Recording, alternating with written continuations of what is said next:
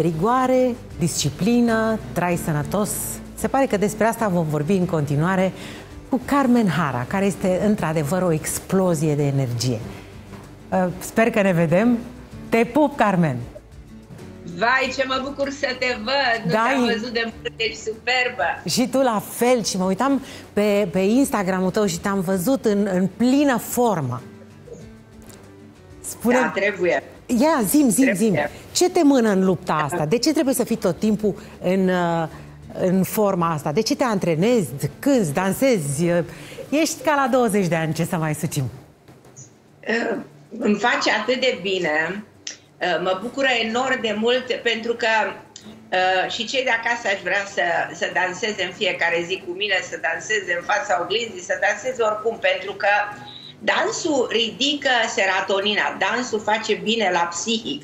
Și trăim în lumea asta a problemelor psihice. Vedem mereu oameni tulburați, oameni deprimați, oameni care au atacuri de panică. Și dacă vrem să le evităm, uh, cea mai uh, uh, bună metodă este mișcarea. Da. Așa că eu în fiecare zi și ca să mă simt bine când mă mișc, bineînțeles, dansul este cel mai indicat la ora actuală ca să declanșăm cum am spus, toți hormonii ăștia din creier mm-hmm. care ne dau echilibru mental și uh, ne ajută la circulație, ne ajută la nivelul colesterolului. Deci uh, eu vreau să mă țin în formă și asta este metoda mea. Pare să că și reușești. Mă gândeam la vieții americani, care au un stil de viață destul de haotic. Oare nu s-or fi uitând la tine așa cu invidie pe rețele? Ia uite-o și pe Carmen. Se vede că e neam de româncă. Asta nu îmbătrânește niciodată în viața asta. lumea, lumea de multe ori mă critică, spune, dar mă uitați-vă în buletin, dar nu vă gândiți vârsta care o aveți, dar eu sunt foarte mândră că pot să fac toate lucrurile astea și vreau de fapt să reprezint un, într-un fel un exemplu pentru cei de vârsta mea. Eu plinesc 68 de ani. Deci la vârsta asta noi putem să dansăm, noi putem să uh, funcționăm la fel de bine Uh, ca la uh, tinerețe. De ce trebuie să credem că îmbătrânim, că să fim demoralizați, să fim pierduți, să fim triști? Eu scriu acum o carte Teo despre sănătatea mentală. Este cea mai complexă carte care am scris-o vreodată, pentru că văd ce se întâmplă în lume. Cel puțin în America, în fiecare a doua zi, uh, sunt, împuș- sunt oameni împușcați, deci intri într-un, într-un store, într-un market și nu știi dacă mai ești viu. Wow. Ce se întâmplă? Există tulburările astea mentale, mai evidente ca oricând.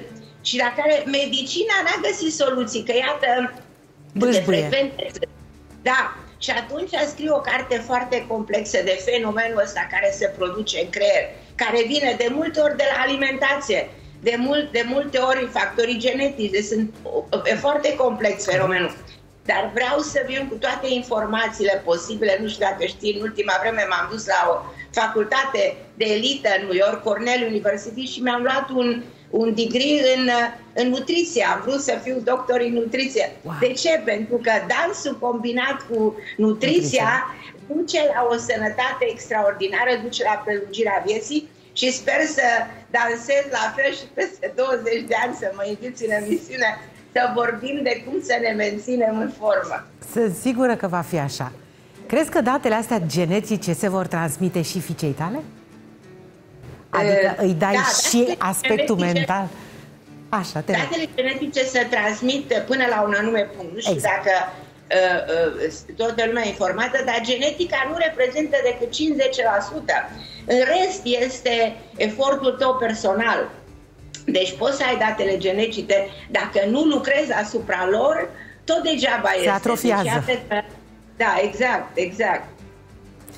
Noi îți mulțumim din tot sufletul, ne gândim la tine, sperăm din suflet să vii cu cartea. Când preconizezi a fi gata? Vin în România în mai. Vin pentru că vin la nunta lui Adriana Bacuțeanu, că eu sunt nașa ei spirituală.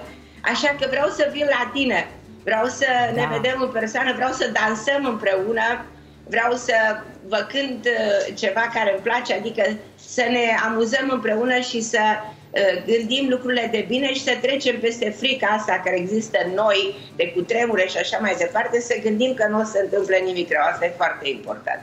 Exact așa vom face. Ne vom gândi tot timpul că nu se va întâmpla nimic rău cu noi.